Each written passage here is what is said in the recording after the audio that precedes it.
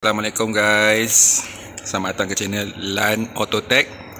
Okay guys. Hari ni Kita ada Jentera Proton Wira 1.5 Okay guys. Uh, Jentera Proton Wira ni Ada masalah Leaking minyak gearbox. Okay guys. Kalau nak tahu Macam mana dia boleh leaking minyak gearbox Macam mana nak solve dia Stay tune guys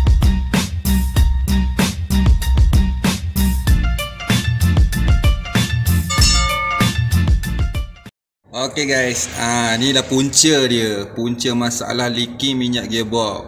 Okay, kat sini kita dapat tengok dry shaft. Punca leaking daripada dry shaft oil seal. Okay. Yang ini untuk dry shaft sebelah kiri. And then kita tengok pada posisi dry shaft sebelah kanan. Okay. Sahabat-sahabat boleh tengok dekat sini tak ada leaking tapi basah. Ok basah dia. Kita boleh tengok daripada sebelah kiri gearbox ok ok guys uh, macam mana kita nak tukar oil seal dry shaft? Ok macam mana kita nak tukar oil seal dry shaft? Kita kena tanggalkan dry shaft dahulu. Ok saya akan tunjukkan cara-cara dan tutorialnya bagaimana Okay, first of all guys, kita kena buang dulu minyak gearbox. Okay, kita kena buang dulu minyak gearbox. Okay, first kalau kita nak buka apa-apa bleeder ataupun nut untuk buang, kita kena buka dulu uh, bolt ataupun nut yang tempat nak isi dahulu. Okay, kita akan buka dan longgarkan dahulu guys. Jangan macam ni, gearbox Wira ni. Dekat sini ada bolt 17mm So kita break loose dia dahulu. Okey. Longgar dengan dia. Ketat betul ni.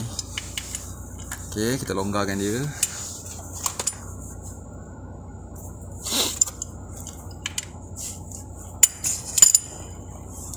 Macam ni, kemudian kita kena buka bolt untuk buang minyak dia yang ini. Ini bolt dia saiz 24 mm. Okey kita bukakan ni juga. Oh ketat sangat semua barang. Hati-hati guys. Okey. Kita keluarkan minyak.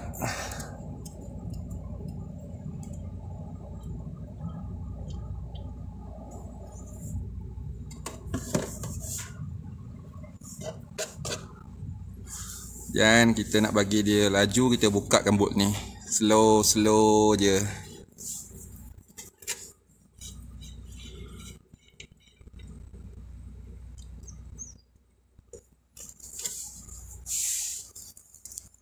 Guys, bila minyak tu dah kering, okay, dah kering macam ni kita tutup balik.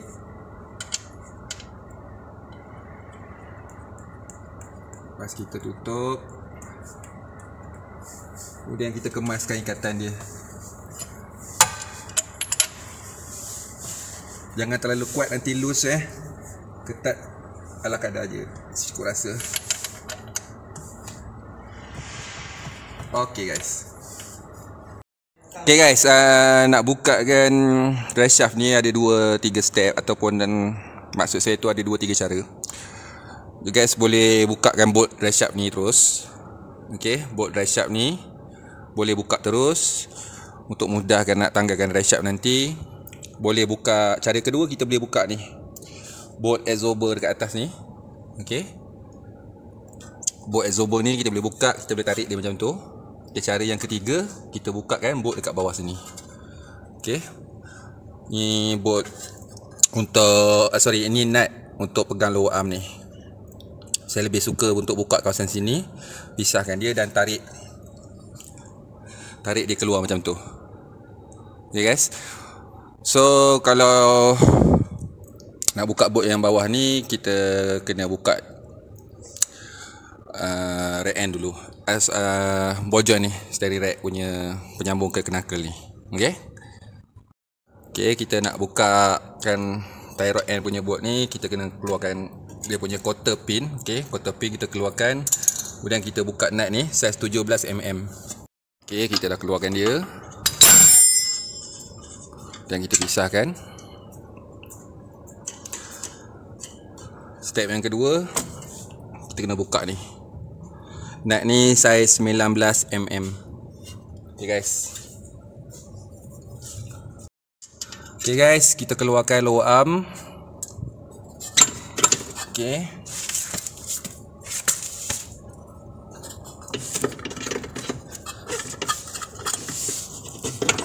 ketat sikit.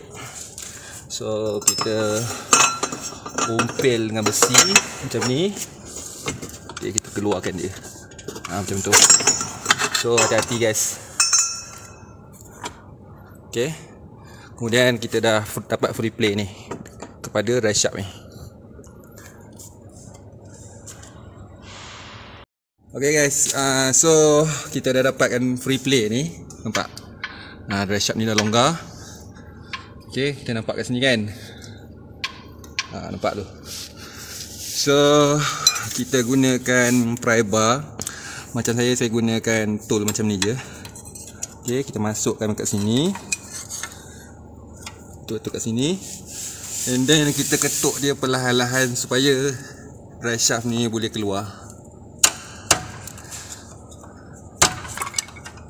Macam tu. Kalau dia tak boleh juga ketat, pusingkan sedikit dry shaft ni. Okay, pusingkan macam mana? Pusingkan ni macam ni. Ha, ambil bahagian lain. Sorry guys, video shaky sikit. Okay, kita buat dia sampai dia boleh keluar. Okay guys, kita dah nampak dia dah keluar dah macam ni. Okay. Dan kau tarik reset ni perlahan sampai dia keluar macam tu. Yes. Bila dia dah keluar, letakkan dia dekat atas macam tu saja. Okay guys. Kemudian korang dapat akses untuk dry shaft oil seal ni.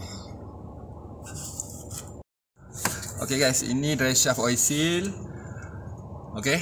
Guys boleh tengok ni nampak ni punca pada leaking pada dry shaft oil seal ni. Satu dia dah keras. Kemungkinan dia keras. Okay, kedua dia pasang sengit. Sini dalam, sini terkeluar. Okay. So sekarang kita kena cungkil dia.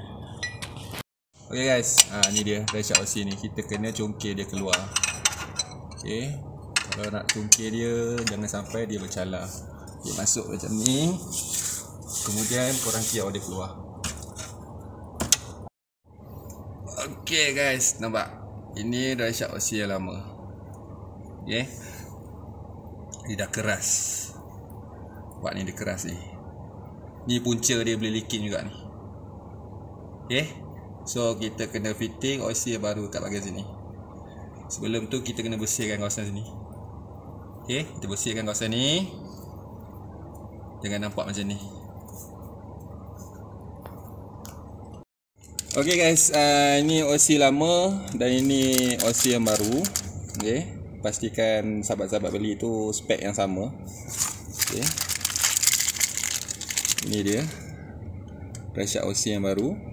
Okay, Pastikan ada ring dalam ni. Okay, Macam mana kita nak pasang Kita kena masukkan balik dekat dalam sana. Okay, Kita kena masukkan dia fitting ni macam ni. Saya akan tunjukkan cara ni macam mana Okay guys, uh, ini Rasyak OC yang baru. Kita masukkan dia. Okay guys, uh, dekat sini kau nampak ni bibir dia ni. Okay, ni bibir dia.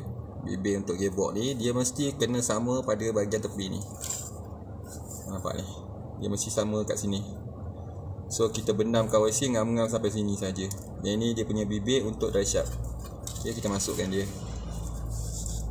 Masukkan dia macam ni Ni dalam sangat, keluarkan balik Okay, masuk dia. Macam tu. Ha, Bagi dia sama macam ni. Kemudian masukkan yang sebelah lain ni juga.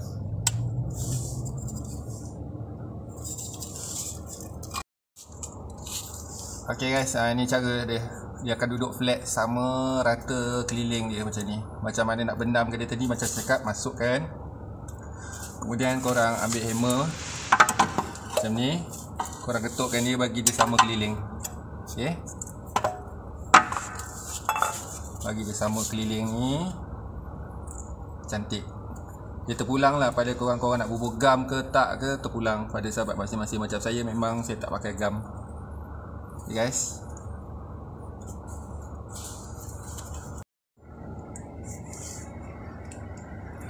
Okay guys, lepas tu korang tarik balik dry shot ni pelan-pelan. Sekali dengan kenaka ke bahagian luar ni. Okay, so slow. Masukkan hati-hati macam ni. Ha. Jangan bagi luka keliling dia. Okay. Okay guys, uh, masa nak masukkan dry tu, kau kontrol dia macam ni. Ha, nampak? Sini kan dia dah terpisah. Kau tarik dia. Lepas tu kau masukkan dry tu betul-betul kat dalam dia. Macam tu. Okay, dia dah masuk macam ni. Kau boleh nampak. Dia makin lama, dia makin rapat. Ah ha, macam tu. Okay. Kemudian kau goyang-goyang ke resyak ni sikit macam tu. Ha, daripada belakang ni kau nampak buat macam mana. Ha, macam ni. Ni, kau goyang-goyangkan ni sikit macam tu. Ha, macam tu dia masuk. Kau kena goyang macam ni. Okay, kemudian buat dalam tu kau boleh tengok. Ha, macam mana dia masuk tadi. Okey, ni kalau macam ni tanda dia dah rapat. Ha. Okey, cun. Ni nak keluar pun tak boleh. Okey, dia ngam dah. Okey, korang nampak kan saya buat macam tu tadi. Ni tanda dia dry shot dah rapat. Okey. Kat sini pun kau mau tengok. Dia dah sampai free play dia dah. Okey, kemudian kita kena masuk bila dah settle dalam tu, kita masukkan balik benda ni kat sini. Okey, kita dah masukkan. Lepas tu kita masukkan balik dia punya nut, tekan sikit lower arm ni. Dan kita ketatkan dia.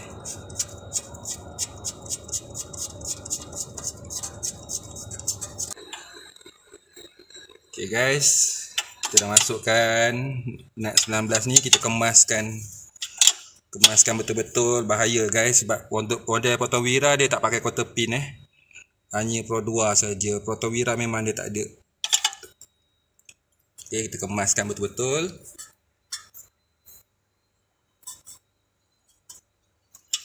Okey. Okey guys, lepas kita dah settlekan uh, nut yang kat sini, kita masukkan steering rack end. Okey, ni rack end dia, spiral end dia. Okey, masukkan. Dia punya castle nut. Kemudian ketatkan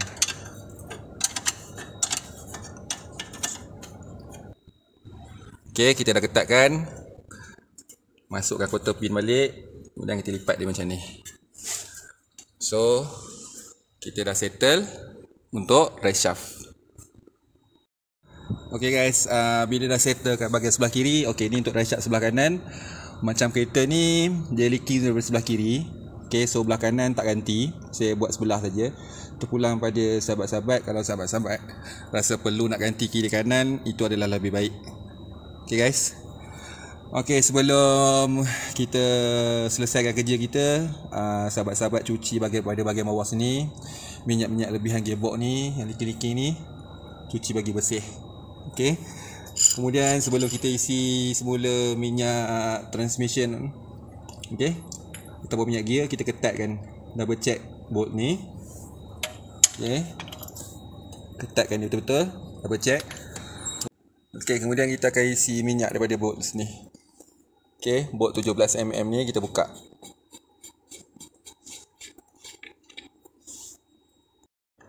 Guys, lepas kita dah settle, kita masukkan minyak gearbox.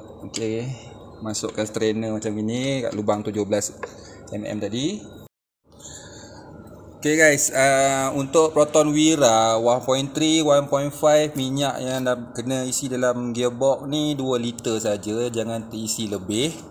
Sebabnya kalau korang isi lebih nanti gearbox jadi berat. Terkurang nanti gearbox berbunyi akan secara tak langsung akan rosakkan komponen dalam gearbox guys. Okay, so kita keluarkan ni, bila 2 liter ngam dia mesti akan meleleh. Terus kita pasang bolt dia. Okey, dia tarik dia macam ni. Dia akan keluar. Nampak dia keluar.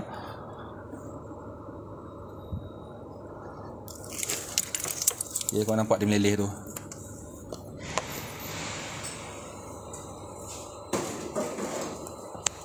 So, kita lock dia balik.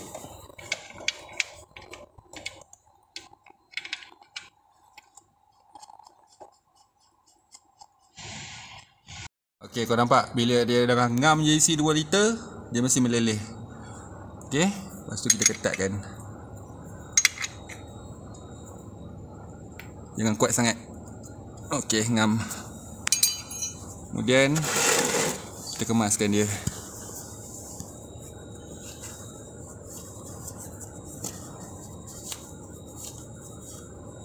Okey. So, kat sampai sini job kita settle. Okay guys, uh, lepas dah settle isi minyak gearbox apa semua, okay. Kita test dulu kita start engine kemudian kita mainkan gear satu kemudian gear dua kita test dia bagi dia smooth ok kemudian tengok gear, gear reverse. Ok dia dah masuk cantik. Ha, sebelum ni kasar sebab minyak gearbox tu leaking dekat dashboard oil minyak gearbox dia jadi kurang. Bila kurang susah sangat nak masuk gear. Gear pun jadi kasar. Okey, lepas kita dah test running. Okey, kita dah test running 2-3 kilo. Kita jet balik kereta, kita tengok leaking ada ke tak ada leaking dekat gearbox Dengan shaft OC yang kita buat tadi Okey, job pun consider done. Alright guys. Alhamdulillah guys, uh, job kita pun dah settle InsyaAllah. Kita akan bertemu lagi dalam tutorial dan video-video akan datang. Harap video kali ini membantu pada pada sahabat-sahabat kat luar sana yang mana pakai Wira Iswara 1.3 1.5 boleh rujuk video ni sebagai panduan insya-Allah. Akan membantu sahabat-sahabat kat luar sana. Sekiranya ada sebarang pertanyaan boleh komen kat bawah. Jangan lupa like, share dan juga subscribe. Line Autotech. Assalamualaikum.